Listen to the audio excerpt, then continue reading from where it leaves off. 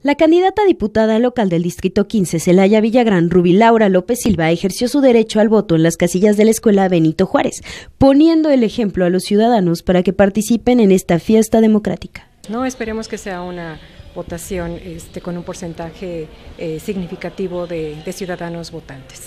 Esperando los resultados, se encuentra muy conforme con su campaña y cree que la ciudadanía tomará la mejor decisión.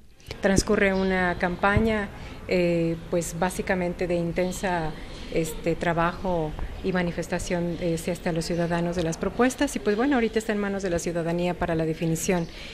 Esperando los resultados, se encuentra muy conforme con su campaña y cree que la ciudadanía tomará la mejor decisión. Con imágenes de Luis Torres para Vía Noticias, Ana Gaitán.